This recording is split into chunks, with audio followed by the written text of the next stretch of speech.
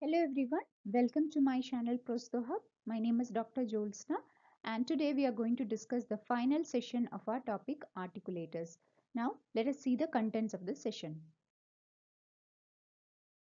So I hope everyone have followed the previous three sessions and in today's session we are going to discuss mainly the programming of semi-adjustable articulator in detail. So before getting into topic, I request everyone to please do like and share my videos if you're finding these useful. And if you are new to this channel Prostho Hub, please do subscribe to get more videos on prosthodontic subjects. And if you have any queries, topic suggestions or any feedbacks, you can comment below this video or you can mail me at this mail ID. So without any delay, let's get into the topic. So before beginning the programming of articulator, first we have to know what is zeroing of an articulator and this is an important Viva question too. So what is zeroing of articulator? It is the process of standardizing the articulator to a reproducible starting point. So the accurate use of a semi-adjustable articulator actually depends upon the dentist ability to consistently zero the instrument before mounting the cast. So in case of a Hanau wide vue articulator, several criteria must be met for the articulator to be zeroed correctly.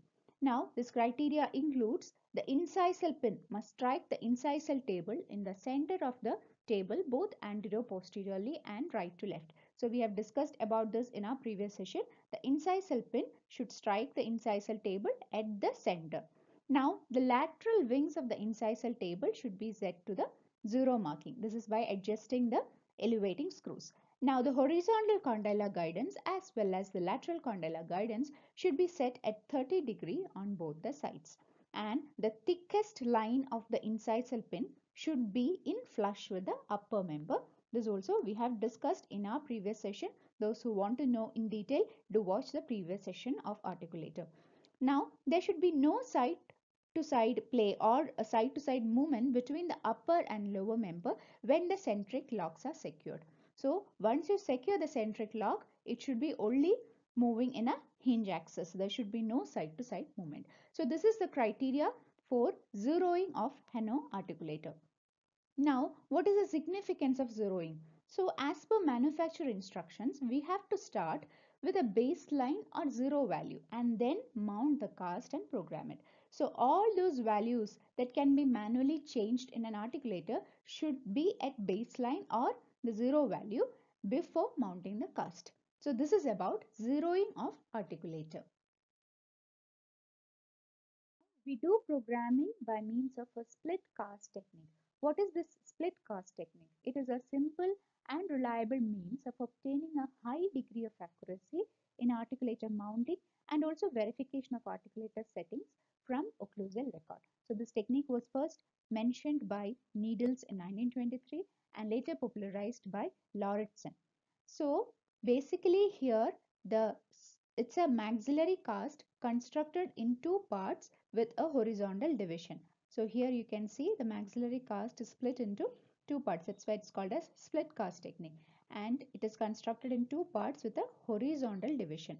Now the first part of the um, split maxillary cast with index groove that is called as the primary base. So this is the primary base and the second part which is fitted onto the master cast and attached to the upper member of the articulator it is called as the secondary base or the sandwich. So this part is the primary base and the upper one is the secondary base or the sandwich. Now the perfect fit of the master cast, sandwich and the upper member of articulator verifies the correct centric relation record and if there is any gap between these parts that means that the previous recording of centric relation is incorrect. So this method provides a reliable means to obtain high degree of accuracy in articulator mounting. Now let's see how this is done. Six wedge-shaped notches are made on top of the primary cast. So you can see here six wedge-shaped notches or grooves are made and these cuts are made from the border towards the center of the cast. Two notches located on the posterior border, two in the first molar region and two in the lateral incisor region and the approximate depth is 2.5 centimeter. Now once these grooves are made, Then the separating medium is applied properly onto the grooves as well as onto the surface in order to easily remove the primary base from secondary base once split cast is made. Once the separating medium is applied, you have to wrap the borders with the help of uh, boxing wax and then the die stone is vibrated onto the top of the primary base and allowed to set.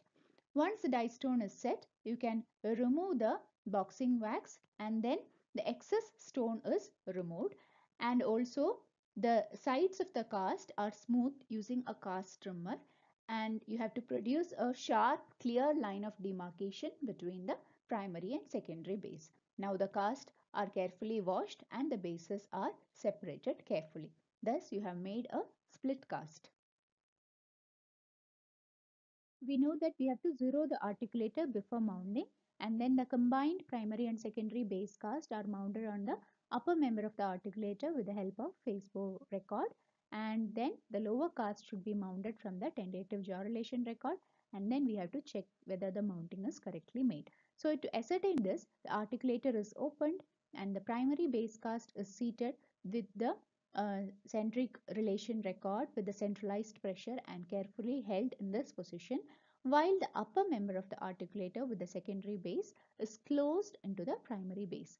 Now, if the secondary base correctly fits into the primary base, the mounting has been properly made and even the smallest error in mounting is clearly seen as the secondary base cannot fit properly or accurately into the primary base. So once it fits that means our mounting is proper or accurate. So this is how we check the accuracy of our mounting using split cast technique. See the benefits of split cast technique. So first of all, to ascertain the accuracy of centric record in dentate as well as edentulous patients. So while programming of articulators, split cast technique help us to verify the centric records and then adjust horizontal condylar inclination in the articulator. Now it also helps us to verify centric records during a full mouth rehabilitation case. The next advantage is to observe processing errors during complete denture remount. So if there is any processing error, we can see that the secondary base will not fit accurately into the primary base. Now it also simplifies waxing and carving procedures since the master cast can be easily removed from the articulator and placed back. So these are the benefits of split cast technique. You can expect split cast technique as a short note or even it can be asked in your chair side viva. Coming to programming the semi-adjustable articulator. So the semi-adjustable articulator is customized to suit each patient through a systematic process of programming. And if not programmed, a semi-adjustable articulator is no better than a cymbal hinge articulator. Once this gets programmed, it is upgraded to the status of a simulator. So the relationship between the intercondylar axis and the maxillary cast, opening and closing arc, vertical dimension, and the path on which the jaw moves are all simulated through the process of programming. So here the cast on the articulator must be related to the hinge axis and face bow transfers the relationship of maxilla to the condylar axis and then the mandible is indirectly related to the condylar axis by relating it to maxilla. And this is done by recording the centric relation and using protrusive records and lateral excursive records and then the articulator is programmed to simulate the mandibular movements of the patient. Now let us see how programming is done. So first of all, the maxillary cast is mounted to the upper member of semi-adjustable articulator using a face and then the split cast is issued and then the tentative jaw relation is registered and the mandibular cast is mounted to the lower member of the articulator using this tentative centric record.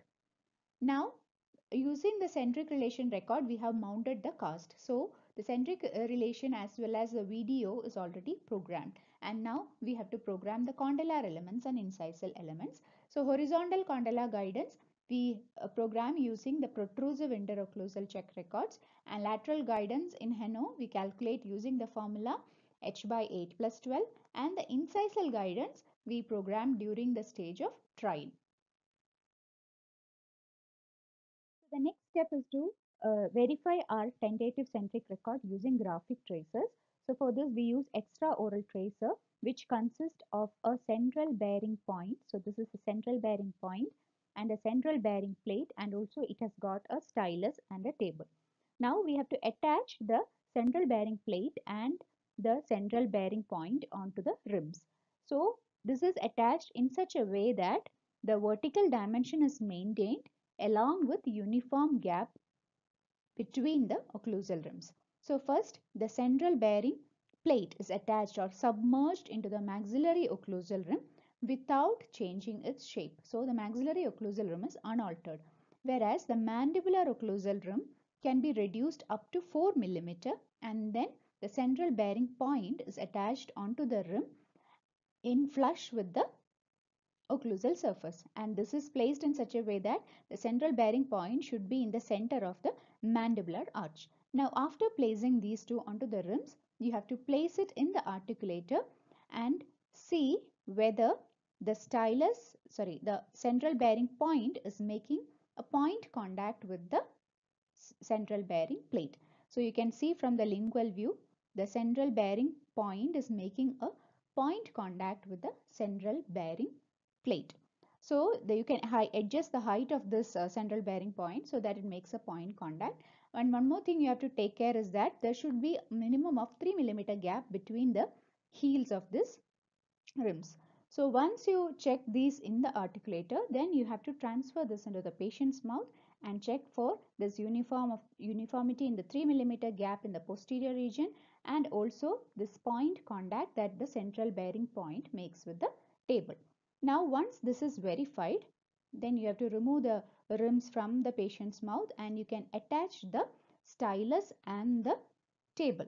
So the stylus, the tracer assembly that is the table is attached onto the mandibular occlusal rim onto the buccal surface and the stylus is attached onto the maxillary buccal surface. So this is attached in such a way that the uh, tracing table should be parallel to the maxillary occlusal plane and this should not interfere with the incisal guide table.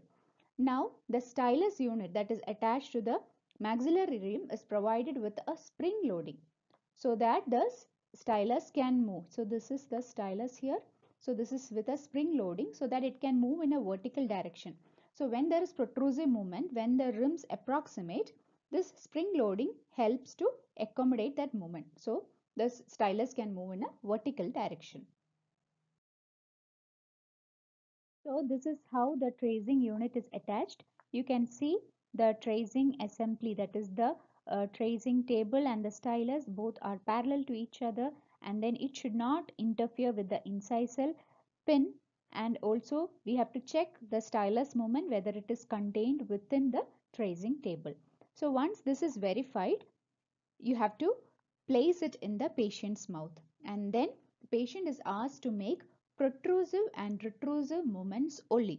So by doing this protrusive and retrusive movement, you will get a consistent point that is a centric relation point. So once the consistency at centric relation point is obtained, then patient is asked to make excursive movement one after the other.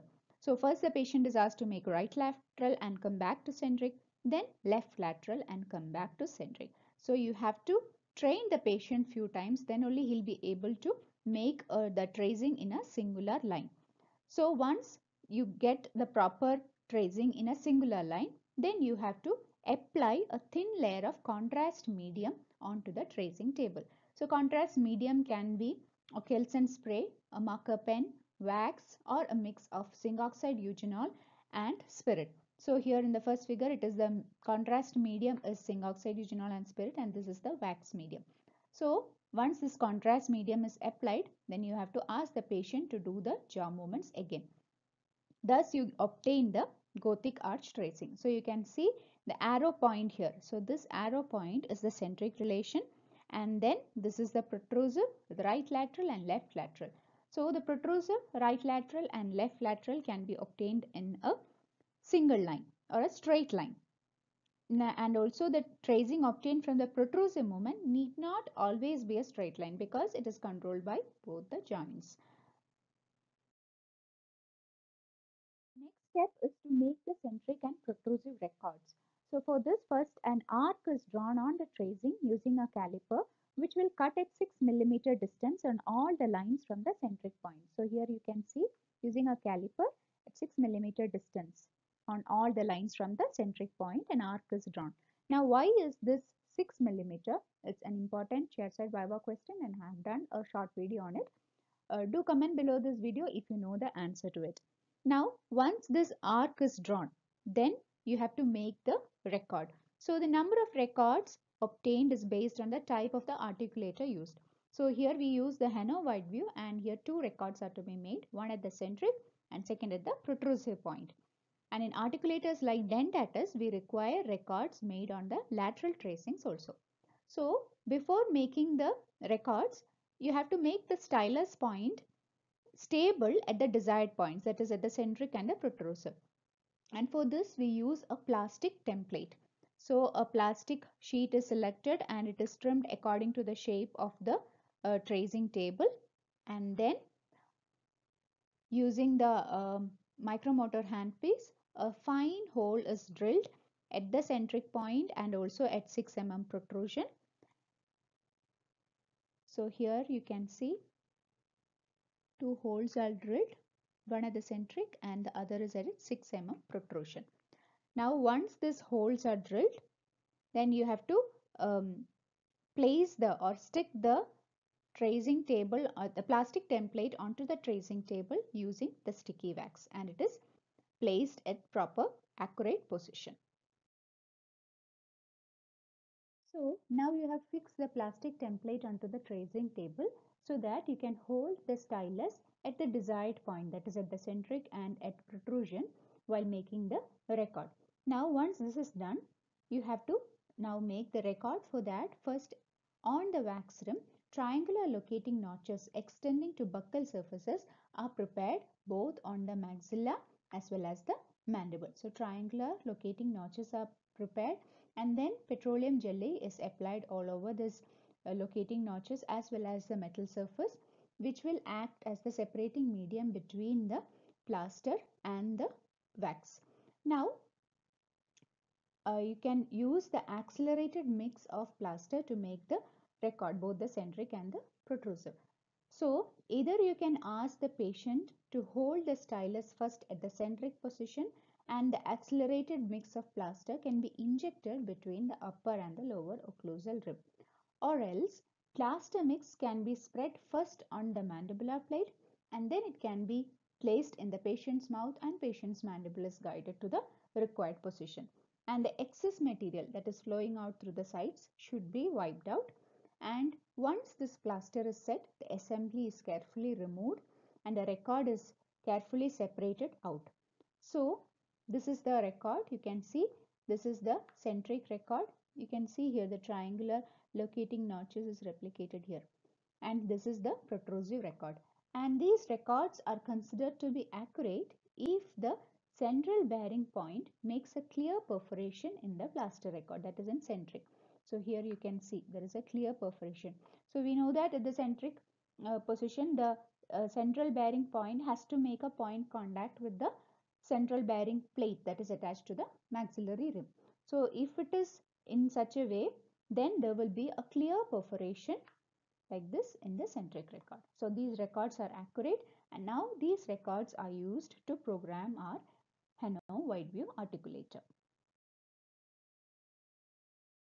So in programming first the centric record has to be placed and it has to be found out whether it matches with our tentative centric relation. So first we have to verify the centric record. And while programming the following components should be stabilized as a single unit. That is the primary base of the maxillary working cast then the maxillary denture base with the central bearing device and the extraoral tracer the interocclusal record. So first we are using the centric record and then the mandibular denture base with the central bearing point and the extraoral tracer and the mandibular working cast. So all these components should be stabilized as a single unit and for this we use retentive pins that are incorporated into the upper cast and the lower cast and secured using cyanoacrylate. Okay. So first fine holes can be drilled on the cast, two on upper and two on the lower cast And while fixing the maxillary pins, care should be taken to drill the holes well below the split. And before securing the pins, the split has to be separated. Now using a thread, the lower cast, the lower base, plaster record, upper base and upper cast should be secured as a single block. And the incisal guide pin and the stylus can be raised at this point and they need not make contact with the respective tables. So now all these components act as a single unit by means of these retentive pins and secured using a thread. Now the next step, the upper member of the articulator with the upper split of the cast should be approximated. So at this point it is desirable to release the centric lock. So when the upper member of the articulator with the upper split of the cast is approximated, both the parts of the split cast must, must approximate closely. So while it is closed, if the condylar spheres are making contact with their respective centric stops, it can be considered that the centric tentative centric is matching with our graphic tracing. So in the parts of the Hanau articulator while we were discussing, we have discussed about these uh, respective centric stops in the uh, condylar housing. So while it is closed, if the condylar spheres are making contact with their respective stops, that means that our tentative centric is matching with our graphic tracing. If it is not matching, it is desirable to go back to the check bite and re-register the tentative centric and repeat the entire process. Now, if the centric matches, then the articulator can be programmed. So up to this stage, articulator simulated the patient in opening and closing movement. Now, the articulator can be used to make translatory movements for which the horizontal condylar path has to be adjusted similar to the condylar path inclination present in the patient. So for this purpose, we use the protrusive record. So we have to remove the centric record, place the protrusive record and the cast are secured in a similar manner. The centric lock as well as the thumb screw present behind the condylar housing should be released so that both the condylar elements and the condylar paths can be moved. Now the upper member with the upper split cast is approximated. If there is a gap, the brass disc containing the condylar path can be moved so that the split completely gets obliterated. So when it is obliterated, the upper member and the lower member should be held tight and note down the condylar path set by itself. So the path is fixed at this point by tightening the screws and then the lateral condylar path in the Hanau articulator is adjusted using the formula and that will be approximately 15 degree. So we know the formula L is equal to H by 8 plus 12. Now from now onwards the articulator will function as a simulator of the patient's jaw with movement cap capability both in opening and in translation. So this is how we do the programming. So first we use the centric record and prove that our tentative centric are matching with our graphic tracing. Then we place the protrusive record and we noted the horizontal condylar inclination angle and using this angle we found out the Bennett angle which is approximately 15 degree. So this is how we program a Hanau wide vue articulator. So I hope everyone have followed the technique of programming and I have referred the article um, Programming the Semi-Adjustable Articulator by Dr. Chandrasekharan Nair sir, which was published in the Trends of Prosthodontics 2011 edition. And we have followed this technique of programming during our postgraduate course and even for our practical exam. So any of you, if you are doing it in a different way in or uh, like a modified version of this classic technique, please do let me know by commenting below this video. So I hope everyone have understood programming well and if you have any queries, you're always free to ask me. Either you can comment below this video or you can directly mail me at, at the mail ID. Let us have a recap of the uh, programming topic. So first, the maxillary cast is mounted to the upper member of the semi-adjustable articulator using face bow record and with a split cast. Then mandibular cast is mounted using tentative centric record once this is done, we have to attach the central bearing plate and central bearing point to the occlusal rim while maintaining the established vertical dimension. So, onto the maxillary occlusal rim, the central bearing plate is submerged, whereas mandibular occlusal rim, it is reduced up to 4 mm and then the central bearing point is that, that plate that is carrying the central bearing point is in flush with the modified mandibular occlusal rim. So in such a way it is placed and then the tracing assembly is attached. So tracing table is attached to buccal surface of mandibular occlusal rim and tracing assembly containing the stylus is attached to the maxillary rim. And this should be attached in such a way that it does not interfere with the incisal guide table. Now after this is attached, we do the tracing. So we make the patient train the jaw movements and we get the Gothic arch tracing on a contrast medium and then using a plastic template we have to mark the point that is 6 mm from the central relation point on all these lines. So once the point is marked using a plastic template you have to hold the stylus at that point and once this is done you have to record the centric record as well as the protrusive record. You have to make the registration. Okay. So once the records are obtained that is at the centric and at 6 mm protrusion then the pins are fixed onto the cast to act as a single unit and uh, then the centric relation is checked first. The centric record has to be verified first whether it matches with our tentative centric relation and then the protrusive record is used and we adjust the horizontal condylar inclination and we get the horizontal condylar angle and then we find out the Bennett angle using the formula L is equal to h by 8 plus 12. So this is how we do the programming of the semi-adjustable articulator that is here Hanau wide vue. Concluding our session, the mouth of the patient is often considered as the best articulator However, it is not mechanically possible to perform many procedures intraorally which are involved in the construction of fixed or removable prosthesis.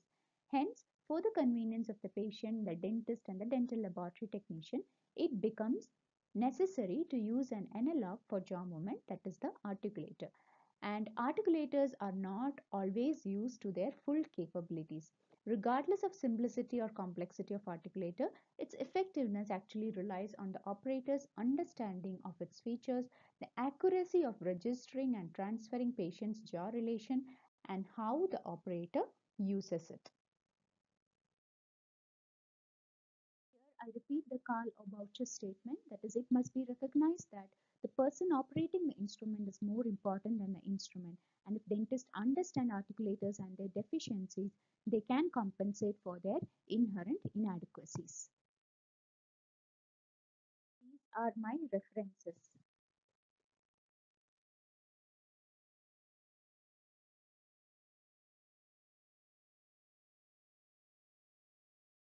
You all for watching my video. Please do like and share my videos if you're finding these videos useful. And if you're new to this channel, please, please do subscribe and support me. If you have any queries, topic suggestions or feedbacks, you can comment below the video or you can mail me at this mail ID. So it's a bye from Prostho Hub until our next session with a fresh topic.